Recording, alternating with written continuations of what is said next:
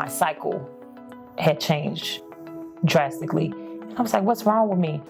A doctor put Angela Burton on iron supplements for anemia. After little relief and more testing, she found out she had uterine fibroids, commonly treated by removing the uterus. Angela's own mother had been through a hysterectomy. And all I thought back to my mom has never been normal since she had a hysterectomy. I, No disrespect to anyone who has a hysterectomy, that just wasn't what I wanted to do. So Angela started doing her own research. She found a procedure called UFE, that's uterine fibroid embolization. Through a small incision in her wrist, a doctor would thread a wire into her artery, winding all the way to her uterus.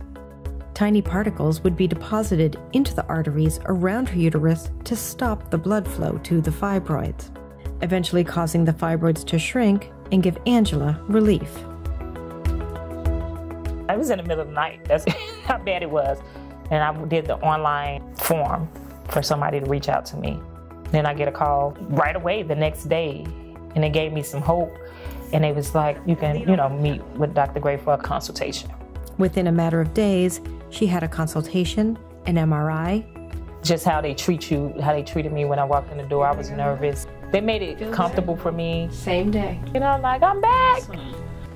And I'm not even ashamed to tell people. They like, oh, I had uterine fibroids, I got it taken care of. I had that procedure called UFE. I don't care. I tell everybody. It's like make me want to cry because I can imagine someone right now is online searching some help for these fibroids because I was one of the ones all night up reading other women's stories. I get sentimental about this because, like I said, if a person knew how I was feeling, it was just a secret between myself. But now it's like I am back to Angela.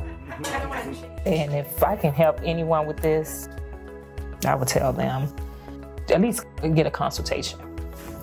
You'll be quite amazed